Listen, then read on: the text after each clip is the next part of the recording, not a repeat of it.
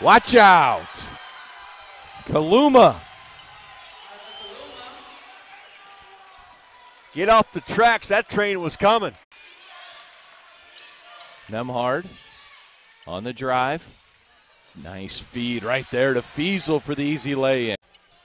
Played on the USA under 19 team that won the gold medal. Friday gets blocked by Kaluma. Backed up a guy you might have heard of named Chet Holmgren. Another Gonzaga connection.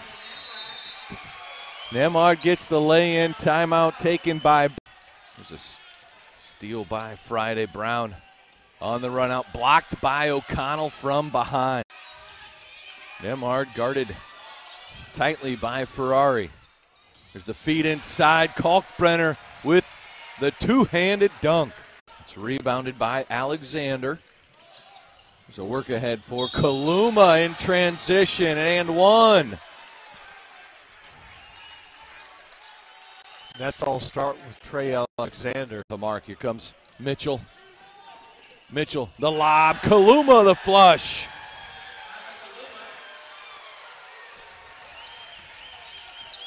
Creighton back to a 22 point lead. Kalkbrenner do. It's a tip pass by Kalkbrenner. O'Connell with the steal. Kaluma into Kalkbrenner. Through contact and and one opportunity. Well, you see this young man emerge before our eyes. And as Greg McDermott told us last year, it takes those big guys it's a little longer to develop their skills.